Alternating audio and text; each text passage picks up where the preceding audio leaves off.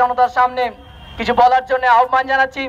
আমাদের এই মঞ্চে উপস্থিত সম্মানিত মোহাম্মদ নুরুদ্দিন সাহেবকে, সম্মানিত রাজ্য সভাপতি জামাত ইসলামী হিন্দ পশ্চিমবঙ্গ। আছেন নুরুদ্দিন সাহেব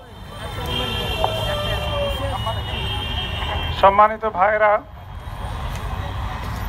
আপনাদের সকলকে আমি আমার পক্ষ থেকে শুভেচ্ছা জানিয়ে আজকের একটা ইউনিভার্সিটির দাবিতে মুর্শিদাবাদ জেলার ছাত্র এবং জনতা যে আন্দোলন করছে, তার প্রতি আমাদের সমর্থন জানিয়ে দুটো একটা কথা আমি রাজ্য সরকারকে শোনাতে চাই। আমি সর্বপ্রথম আমাদের রাজ্যের মাননীয় মুখ্যমন্ত্রী পশ্চিমবঙ্গের পরিবর্তনের আহ্বান দাতা মুখ্যমন্ত্রীকে করতে চাই যে বিশ্বের কোথাও কি এ ধরনের আন্দোলন আপনি দেখেছেন? আপনার দেশের কোথাও কি ধরনের আন্দোলন দেখেছেন?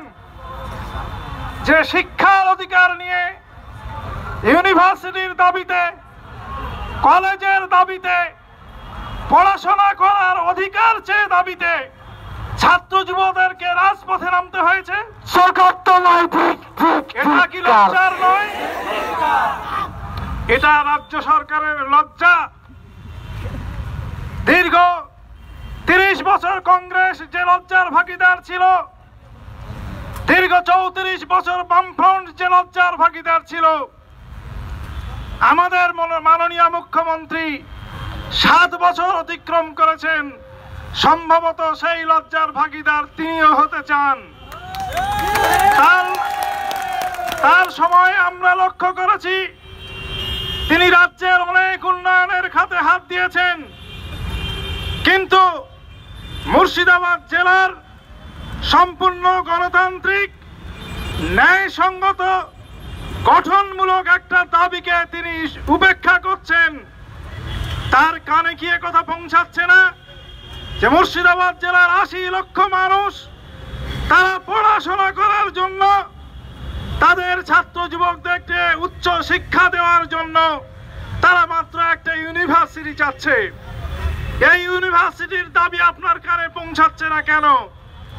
আপনার যদি সুবুদ্ধি থাকে, আপনার যদি দূরদর্শিতা থাকে, আপনি যদি নিজেকে একজন বুদ্ধিমান রাজনীতিবিদ, একজন বুদ্ধিমান মুখ্যমন্ত্রী হিসেবে প্রমাণ দিতে চান, তাহলে অনুগ্রহ করে, দয়া করে ছাত্রদের এই ন্যায্য দাবিকে মেনে নিন যদি আপনি আজকের এই দাবিকে উপেক্ষা করেন তাহলে আগামী দিনের মুর্শিদাবাদ আপনাকে পশ্চিমবঙ্গের মাটি থেকে উপড়ে ফেলে দেওয়ার ব্যবস্থা করবে।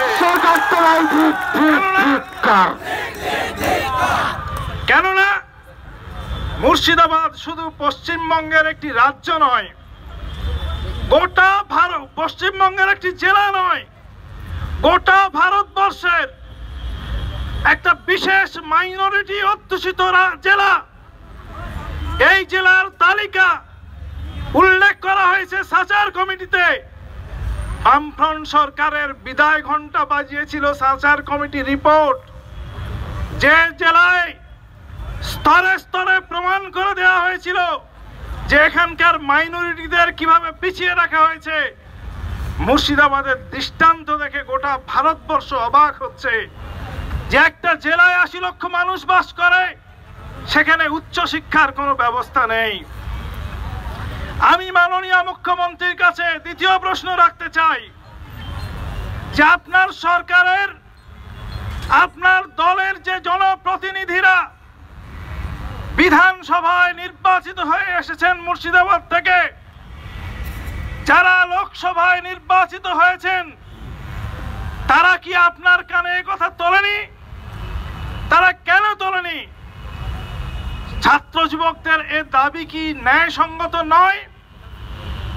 আমরা জানি মুর্শিদাবাদের কোন সেকশন আপনার ডিস্ট্রিক্ট ম্যাজিস্ট্রেট, আপনার বিভিন্ন ব্লকের ব্লক অফিসারগণ, আপনার জেলার নির্বাচিত জনপ্রতিনিধিগণ আপনার এমএলএ, এমপিগণ, তাদের সবার সঙ্গে আমাদের ছাত্র যুবদেরকে স্টুডেন্টস ইসলামিক অর্গানাইজেশন অফ ইন্ডিয়ার প্রতিনিধিদেরকে দেখা করতে হয়েছে।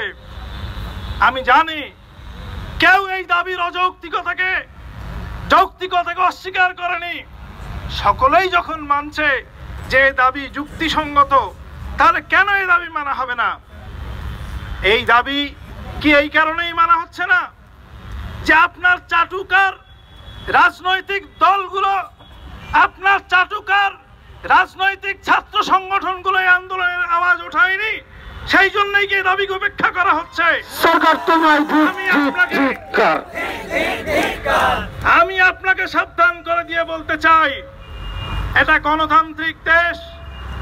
গণতান্ত্রিক দেশে সংকীর্ণ স্বার্থ নিয়ে যারা রাজনীতি করে, যাদের রাজনীতি মানে দুর্নীতি, যাদের রাজনীতি মানে শোষণ, যাদের রাজনীতি মানে জনগণকে বঞ্চিত করা, শুধুমাত্র যদি আপনি তাদের কথায় কান দেন, তাহলে ঐতিহাসিক ভুল করবেন। Students Islamic organisation of India আপনার সামনে একটা বড় সুযোগ এনে দিয়েছে।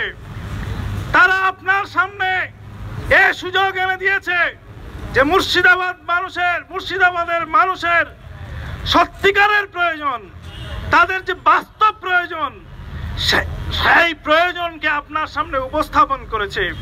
আপনি প্রমাণ দিন যে আপনি সংকীর্ণ রাজনীতিতে বিশ্বাস করেন না। আপনি শুধু সংকীর্ণ দলীয় রাজনীতিতে বিশ্বাস করেন না। আপনি মানুষের মুখ্যমন্ত্রী, একটা সামাজিক সংগঠন একটা সামাজিক ছাত্র সংগঠন students Islamic organisation of India যার পাশে মুর্শিদাবাদের সমস্ত ছাত্র এবং যুব সংগঠন দাঁড়িয়েছে, যারা ঘোষণা দিয়েছে, কলেজের ছাত্ররা ইউনিভার্সিটির ছাত্ররা, তারা ঘোষণা দিয়েছে, মুর্শিদাবাদবাসীর ইউনিভার্সিটির দাবি, এই ন্যায়সঙ্গত দাবিতে আমরা এসআইওর পাশে আছি। আপনি দয়া করে এসআইওর এই ন্যায়সঙ্গত দাবিকে গুরুত্ব দিয়ে, এদের দাবির প্রতি মান্যতা দিয়ে আপনি প্রমাণ করুন যে আপনি উদার, আপনি সংকীর্ণ রাজনীতির ঊর্ধ্বে এবং আপনার মধ্য দিয়ে পশ্চিমবঙ্গের মানুষ একটা রাজ দুর্নীতিমুক্ত, শোষণমুক্ত একটা পশ্চিমবঙ্গ দেখতে চায়, আপনি তাদের সাথে আছেন। মাননীয় মুখ্যমন্ত্রী, আমি আপনাকে বলতে চাই যে মুর্শিদাবাদ জেলা মাইনরিটি অধ্যুষিত জেলা আপনার বিরুদ্ধে অভিযোগের আঙুল উঠতে শুরু করেছে। আপনি শুধু বক্তৃতা দিয়েছেন, আপনি শুধু ভাষণ দিয়েছেন, আপনার বক্তৃতার ভাষণ সত্য প্রমাণ করতে পারেননি। আপনি যদি আলিয়া বিশ্ববিদ্যালয়ের কথা বলেন, আমি বলব, ইতিহাসে লেখা থাকবে, আলিয়া বিশ্ববিদ্যালয় বামফ্রন্ট সরকার প্রতিষ্ঠিত করেছিল। আমি বলব, যদি আপনি মুর্শিদাবাদে বিশ্ববিদ্যালয় প্রতিষ্ঠা করেন ইতিহাস চিরকাল আপনাকে স্মরণ করবে যে পশ্চিমবঙ্গের মুখ্যমন্ত্রী, মাননীয় মুখ্যমন্ত্রী মমতা ব্যানার্জি পশ্চিমবঙ্গের পিছিয়ে পড়া জেলা মুর্শিদাবাদে একটা ইউনিভার্সিটি স্থাপন করে দিয়ে তাদের উচ্চশিক্ষার সুযোগ করে দিয়েছিল। তাই আমি আপনাকে এ পরামর্শ দিতে চাই। আপনাকে পরামর্শ দেওয়ার ধৃষ্টতা আমার নেই। কিন্তু যখন আমাদেরকে মুর্শিদাবাদ থেকে সুদূর কলকাতার প্রান্তরে আসতে হয়েছে। তখন আমাদের মনে হচ্ছে যে কোনো এক অসাধু চক্রের কারণে আপনিও মুর্শিদাবাদবাসীর ন্যায্য দাবিকে উপেক্ষা করছেন। তাই আমি আপনাকে সতর্ক করে দিতে চাই, সাবধান করে দিতে চাই যে আমাদের এই দাবি গণতান্ত্রিক দাবি। স্টুডেন্টস ইসলামিক অর্গানাইজেশন অফ ইন্ডিয়ার দাবি, ন্যায্য দাবি, ন্যায়সঙ্গত দাবি। এবং এই দাবিতে রাজনৈতিক আন্দোলন হওয়া, এই দাবিতে রাজপথে নামতে বাধ্য হওয়াটা একটা সরকারের জন্য লজ্জার। এই লজ্জার হাত থেকে আপনি নিজেকে রক্ষা করুন, মুর্শিদাবাদে ইউনিভার্সিটি স্থাপন করুন। এই কথা রেখে, এই দাবি রেখে এবং এই আন্দোলনে যারা অংশগ্রহণ করেছেন, সেই ছাত্র, যুবক, জনতাকে আমি ধন্যবাদ জানিয়ে তাদের প্রতি কৃতজ্ঞতা আদায় করে এবং এই আন্দোলন চালিয়ে যাওয়ার আহ্বান জানিয়ে যতদিন পর্যন্ত না মুর্শিদাবাদ ইউনিভার্সিটি হচ্ছে, ততদিন পর্যন্ত এই আন্দোলন চালিয়ে যাওয়ার আহ্বান জানিয়ে আমি আমার কথা শেষ করছি।